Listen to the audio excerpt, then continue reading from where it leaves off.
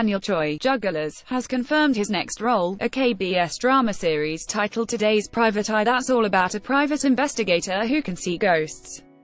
It's described as a horror thriller, which makes me think this will be more like Ghost seeing Detective Cheo Yong than Bring It On. Ghost, but directing is PD Lee Jae-hoon of the irreverent and witty Chief Kim, so perhaps there'll be room for a comedic touch, too.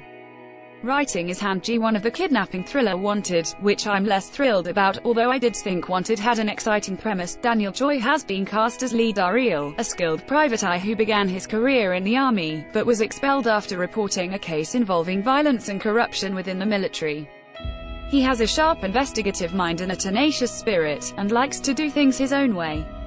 He eschews the belief that one should be tough against the strong and easy on the weak, and instead has an uncompromising attitude. So, tough, stern, smart, the Daniel Choi special. The character and his fearless assistant Young Yo will get caught up in a strange case after meeting a suspicious woman named Sun Woo Hai. We're not told how exactly he catches ghosts, but I'm hoping for a nice fresh angle, since we've seen a number of ghost catches already in Dramaland. In addition to Ghost seeing Detective Cheo Yong and Bring It On, Ghost, I'm also thinking of Hwayugi, Arang and the Magistrate, Oh My Ghostess, and Master's Sun, not that I mind more ghosts in Dramaland, it is summertime, after all, which is prime season for horror dramas. I'll just be over here, watching EM all through my fingers.